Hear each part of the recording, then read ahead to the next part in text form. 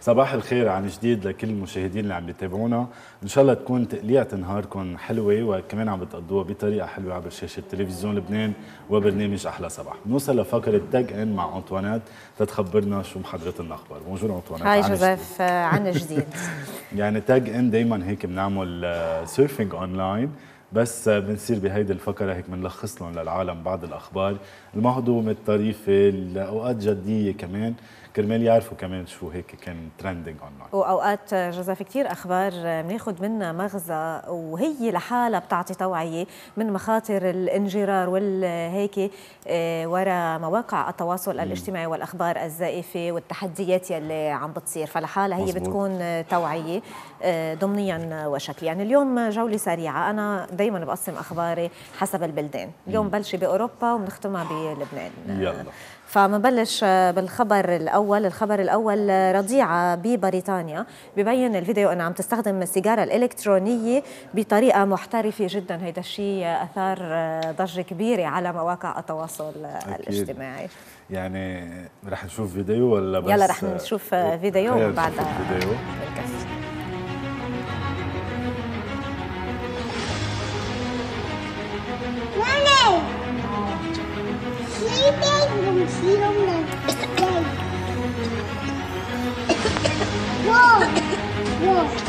Choke me with the bed.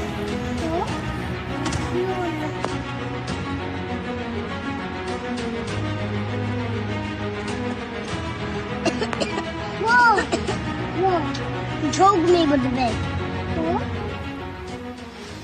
برو بس بس إنه ما بعرف يعني المشهد مش مزبوط ما بعرف أهلها كيف سامحينا؟ انه قعده ورواق وخدمة. أنا حسيت جوزيف إنه يمكن الأم عم بتسوق قدام مش منتبه شو عم بيصير ورا بس من ريحة الدخان مش عم تعرف يعني. بس حتى إذا خيا أو أختها قاعدين حدا لأنه سمعنا صوت. آه كيف تركينا تمسك الفيب أو السيجارة الإلكترونية؟ يعني أنا مثلا بالنسبة لي إذا شفت ابن أختي ماسك علبة الدخان ما بعرف شو معقول يعمل فيها بقول له ما تمسكها. بطبيعة الحال يلي عم بيصور الفيديو كمان لا نعتبر ما حدا من الأهل كان موجود أو الأقارب يلي عم يصور الفيديو كان شايف آه، شو عم بيصير. فطبعا الهدف الأول والأخير هو يعمل trending على ال social media. وهيدي المشكلة اللي عم نوعى فيها أنطوانيت يمكن كنت عم تحكي عنها إنه عم نعمل حيالا شيء بس كرمال. نجيب views نجيب likes نخلي العالم تحكي. ولكن لازم نكون مركزين كمان آه، على يعني بعتقد البنت بس تكبر وتشوف الفيديو رح تقول لها شو كنتوا عم تعملوا فيي كيف كنتوا تاركيني بيقولوا لها حققنا شوية دولارات من جبنا جبنا views وفوتناك على الجامعة من المصاري بس لا.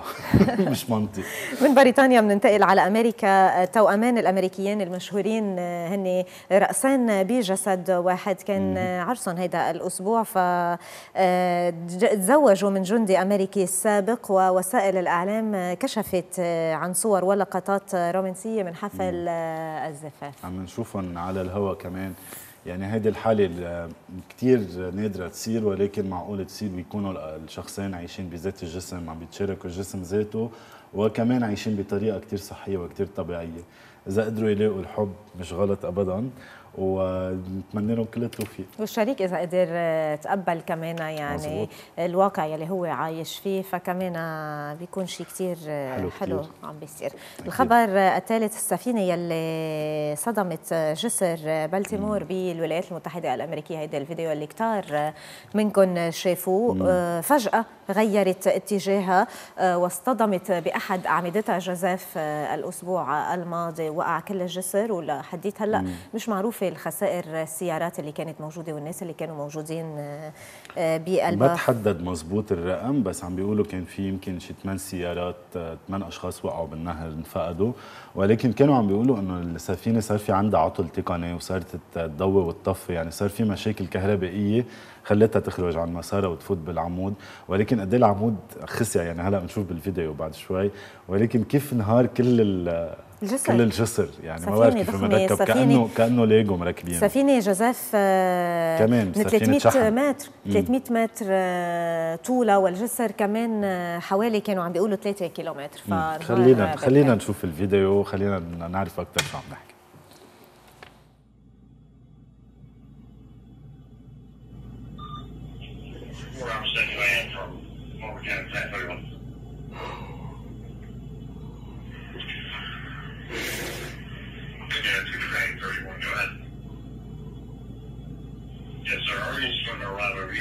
At the FDA headquarters. R52 is around your location now. He just arrived. يعني إن شاء الله ما يكون كمان صار في كثير خسارة حياة بالنهاية كل شيء مادي بيتعوض ولكن إن شاء الله ما يكون كمان كان في كثير عجقة على هذا الجسر ويعني بطبيعة الحال هو مشهور. بدهم يرجعوا. إيه بدهم يرجعوا طبعا إعادة اعماره بس جزاف بطبيعة الحال كان التوقيت بعد منتصف الليل. هلا الأخبار الأولية اللي طلعت إنه هي حادثة آه، مفتعلة لأنه عرفوا إنه السفينة صينيه فدغري أخذوها الصين ضد هدول أمريكا. الحساسيات اللي بنسمعهم دائما صحيح. لا من وين جاي السفينة ومين جابها وكيف فاتت؟ ولكن ما بعتقد يعني بآخر السنين رح تفوت على قلب نهر بالتيمور وتشيل الجسر وتوقع هالقد تعمل مشكلة. بطبيعة الحال السفن دائما بيكون عندها plan B يلي هو موتور ثاني فالعطل التقني اللي كانوا عم بيحكوا عنه إنه الموتور انتزع. كانوا مشوا الموتور الثاني بدها 20 to 25 minutes وصارت الحادثة. باخرة 300 طن. كمان بدها وقت ترجع تشتغل. على أمل إنه ما يرجع ما يكون في كتير خسائر وما يرجع يصير شيء كمان بين الصين وأمريكا يرجعوا يقولوا ها هيدا عم بيردوا لنا اياه عم بيكملوا على قصة الجسر فخلينا ما ناقصنا مشاكل بهالعالم من أمريكا blogger اندونيسيه الشهيرة اكتشفت إنه المربيه اللي بتشتغل عندها آه، كانت عم تضرب الأولاد تبعولها لسنوات آه، آه، ماضية عديدة وعم بتعذبهم. بالصدفة اعترفت المربية بفعلتها وأكدت إنه الغيرة من صاحبة من ربة المنزل هي هو السبب الأساسي يلي دفعها لهيدا التصرف. يعني بنشوف مشاهد فعلا بتوجع القلب. يعني هول الصور كمان اللي عم نشوفها إنه بتفرجي يمكن المربية والأم أو الطفل كمان ولكن دائما بس نترك أولادنا مع أشخاص غريبة. يعني لازم نكون نحن شوي عندنا تساؤل نعرف شو عم بيصير. بس كمان أنا بقول طريقة التعامل مع هول الأشخاص يعني لما يكون عندنا بنت بالبيت أو مربي دائما بيكونوا أوقات عم يعملوها بطريقة غلط ولكن هيدا الشخص اللي أقرب شيء لاولادكم أقرب شيء ببيتكم وحياتكم بدنا نعملهم بطريقة منيحة تقدروا يكونوا عم بيردوا نفس الشيء. فما بنعرف هون الحالة كيف كانت. 100% بس كمان أكيد هذا الشيء ما بيبرر وما بيبرر ابدا فعلتها بغض النظر حتى لو كانوا كثير منيح مع جوزيف بقلب البيت مم. الغيرة آه، يعني اولا وأخيرا بتقدر توصل آه، لنتائج فعلا ما حدا بيقدر يستوعبها ابدا. شو كنت عملت أنت بهالحالة أنطوانيت؟ عن جد آه، يعني موقف ما حدا بينحسد عليه وخصوصي إنه اولاده يعني مش خبرية عم تسمع عن حدا غريب. يلي أنت إذا ابنك بتتردد بتتردد وبتفكر مرتين ثلاثة قبل ما بدك تعيط عليه. أكيد. أو إذا هيك صفقه صغيرة بتضل كل الوقت ضميرك عم بيأنبك. فايه لا لازم ننتبه كمان نحن أولادنا مع مين عم بيكونوا ونكون مأمنين لهول الأشخاص. يعني جردوريات هلأ صاروا الجردوريه عم بتحط لي كاميرا محل ما كنت بالشغل بالبيت. بتفتحي بتشوفي بلحظتها شو عم بيصير بالجردوريه كرمال كمان يعطوا شوية مصداقية للعالم ويكونوا عم بيخلوا العالم ترتاح وتوثق فيهم أكثر وأكثر يعني هذا التطور يمكن لازم ننتبه. كمان لهالأشياء بالبيت وقت يكون عندنا مربية خاصة. أو يكونوا أولادنا مع عالم ما كثير بنعرفهم أو ما كثير بنأمنهم. صحيح. من آه، إندونيسيا آه، بنرجع على فرنسا. سيدي آه، كمان بردة فعل اثار التفاعل كثير كبير على مواقع التواصل الاجتماعي. بتستنجد بالرئيس الفرنسي لوقف الحرب بغزة. خلينا نتوقف مع هذا الفيديو. Dieu, au nom de Dieu, ne, ne, laissez pas ces enfants mourir. Non, je sais. Il y a des enfants, moi, ça fait, ça fait presque 7 mois, 7 mois, je fais que pleurer. Je ne dors plus. C'est terrible. Ils n'ont plus de parents, ils n'ont plus d'enfants. Les enfants, ils sont morts. Il faut arrêter ça. C'est un carnage. C'est un carnage. Savez, ce même dans la guerre. Même dans ce la que j'expliquais à monsieur tout à l'heure.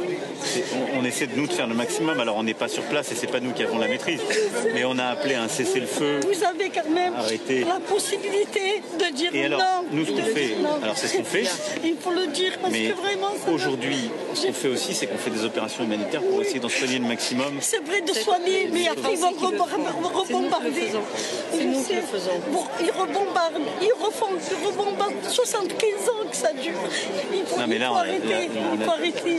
La nature des opérations qui sont menées, elle est inacceptable. Parce on que l'a dit. vraiment, ça me, c'est touchant parce que voir nos enfants, moi je suis grand-mère, j'ai neuf petits-enfants, que Dieu voit ça, je me dis c'est pas possible.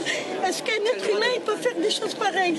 Dieu, au nom de Dieu, Pas ces يعني. أكيد هيدي المرة عم تحكي من حرقة قلب وبعتقد عم بتوصل رسالة كثير للأشخاص عندهم إياها ونحن كمان عم نعيشها لأنه كمان نحن يعني كثير قراب من هذا الموضوع وعم نعيش كمان المشاكل اللي عم بتصير بجنوب فبعتقد يعني كلنا بس نسمع هيك حكي رح نتضايق ولكن مثل ما قال لها يعني مش بإيده. بالنهاية كلنا تعرفنا على النظام السياسي اللي داير العالم ومنا بشخص أو شخصين بياخذوا القرار ولكن في كتير سيستم كتير كبير وراهم. لفتت له جوزيف نظره وقالت جملة كثير مهمة قال لها نحن عم نساعدهم قد ما فينا. عم تقول له شو النفع إذا بترجعوا بتساعدوهم؟ عم بيرجعوا يقصفوهم و... ويأذون ويهجرون ويعذبون بهيدي الطريقة. يعني عم تدعيه بشكل بطريقة مباشرة لحل نهائي لأنه المساعدة المؤقته بهيدي الحرب مش عم توصل مش هي لنتيجة كافية ابدا. أكيد. وعم نعرف يعني كمان المساعدات اللي عم تتوصل والمساعدات اللي عم تنمنع إنه توصل وإلى ما هنالك. يعني عم نعرف كل الأخبار اللي عم بتصير وأكيد يعني كل العالم قايمه قيمتها على هذا الموضوع. وبعتقد هذا الفيديو يمكن هيك شريحة كثير صغيرة من كل شيء عم بيقطع بالعالم من مظاهرات لمشاكل لتجمعات كرمال وقف ال- الحرب بغزة. ويمكن ال- الإعلام ما عم بينقلون مزبوطين لأنه الإعلام الغربي ما بده يوصل هيدي الصورة. ولكن كل العالم قايم القيامه كمان. وكل العالم عم بحس بهذا الشيء اللي عم بيصير. وبغض النظر عن المشاكل السياسية الدينية حيلا شيء صاير بالعالم خلص بالتاريخ الإنسانية في يعني إنسان. مزبوط مفروض آه، تتحرك قدام هيك مواقف آه، أكيد. ظالمة. آه، أراد الاستعراض بسيارته على المياه فانقلبت وطار منا بالهواء. حادث غير عادي بالكويت. أثار تفاعل واسع على مواقع التواصل الاجتماعي. بنشوف الفيديو ومن بعدها بنتابع.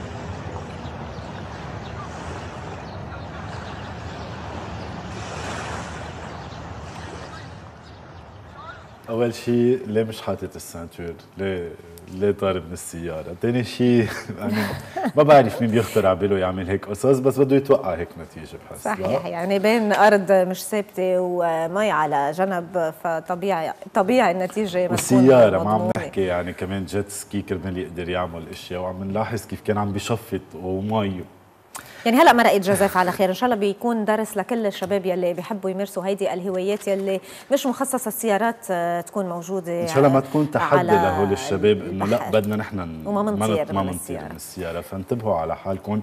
وهذا بعتقد قام يعني لأنه كان حد المي بس إذا كنا عم نعملها على الزفت كانت شقف 100 شقفة وكانت جلوف وصار في العمايل. فننتبه كمان شو عم نعمل لأنه شغلة صغيرة تنتسلى. تكلفنا حياتنا تخرب الدنيا.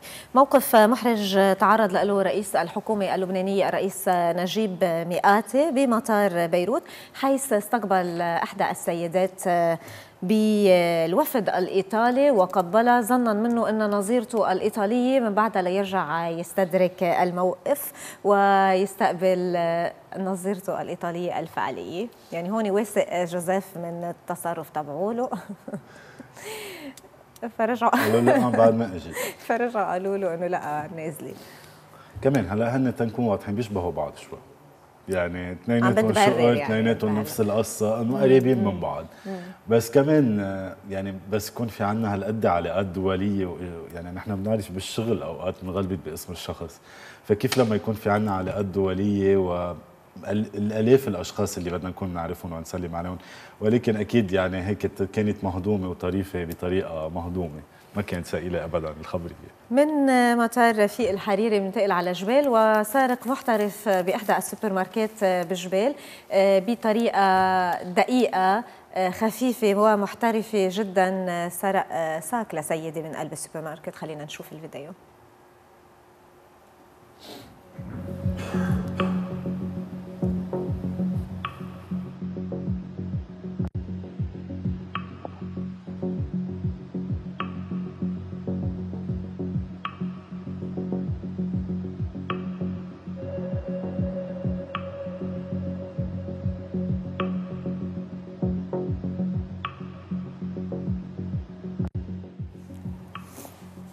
يعني هون بدنا نرجع نشدد لكل الأشخاص ينتبهوا. لأنه هيدي مش أول حالة ومش آخر حالة يمكن هون قدرنا نصورها ولكن عم بيكون في سرقات مثل ما شفنا بالنهار. مختلف. يعني قدام العالم بمحلات كتير بابليك فننتبه من كل شيء حتى المدام حتى جزانه ما تخليه بايدها أو تربطه بشي مطرح أو تحطه بطريقة ما ما ينسحب من الشريو لو كمان الأشخاص اللي بسياراتهم أوقات كثير عم يقطع عالم من الشباك اللي حدهم عم بيسحبوا الشنطة أو الجزدان الموجود.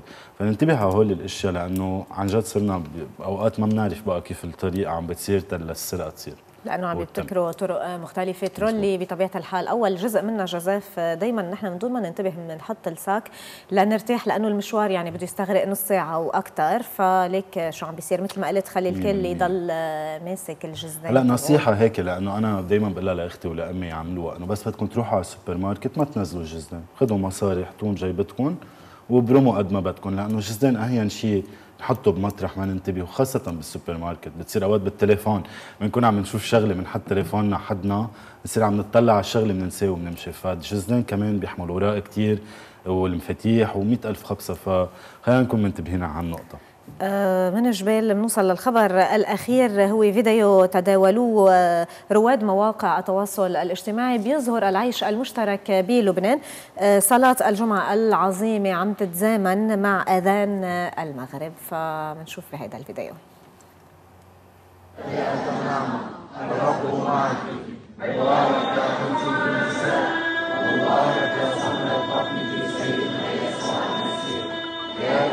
عن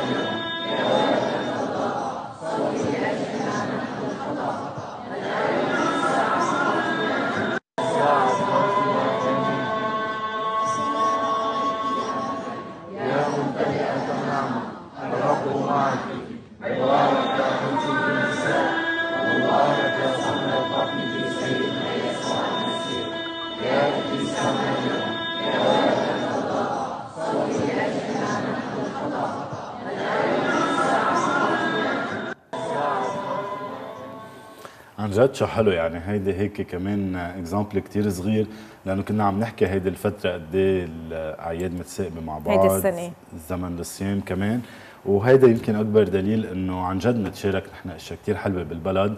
واذا بنركز على هالكم شغلة اللي عن جد بنتشاركها أو بنكون عم نتشارك مع بعض الأشياء الحلوة. وبننسى الاختلافات والمشاكل اللي صايرة بيناتنا بنقدر نوصل كثير وبنقدر نحقق كثير بحياتنا. يعني دايما العيش الكريم والمواطن وهيك ننقل البلد من أوضاع سيئة اقتصاديا واجتماعيا جزاف للضفه الأخرى. ما في غير الوحدة الوطنية والعيش المشترك وافتعال الفتن وهيك دايما بيستذكروا الخلافات والاختلاف. بيناتنا. لازم ما ننجر ابدا بهيدي آه، الطريقة عند الأوقات الحساسة يعني كل أربع سنين أو كل ست سنين حسب آه، تداعيات الانتخابات. أكيد لازم كمان بالنهاية نفكر بالوطن. نحن كلنا بدنا مصلحة لبنان كلنا بدنا مصلحة مصلحتنا وما رح نحقق مصلحة شخص غير ما يكون كمان البلد بألف خير. فكلنا لازم نشتغل على هذا المنحى وبعتقد كلنا بصلواتنا عم نذكر البلد وعم نذكر الوضع وعم نذكر الوضع المعيشي والمادي فكلنا عم نكون عم نفكر بذات الموضوع. فما بقى نركز بس على الاختلافات. في مشاكل صح ولكن المشاكل على الكل. لما نبلش نحل مشكلة الكل رح تنحل مشكلته مش فئة وفئة. فخلينا نركز على هول الأشياء وننسى كمان الاختلافات والمشاكل اللي كنا عم نحكي عنها. يعني هيك جوزيف أنا بكون عملت جولة سريعة كان ختامها مسك يعني بعض كان الأخبار من مواقع التواصل الاجتماعي. أكيد وآخر فيديو هيك كمان خلينا نرسم بسمة ونتفائل كمان على أمل يكون هيدا الفيديو وغيره هيك صورة حلوة عم تنقل عن لبنان وعن شعب لبنان. ميرسي كثير لك انطوانات أكيد نحن بنشوفك بفقرة تالية غير مرة بتاج إنت. نحكي كمان معك أكثر عن هول المواضيع. أكيد. صبحيتنا بتتابع ولكن بعد بريك قصير.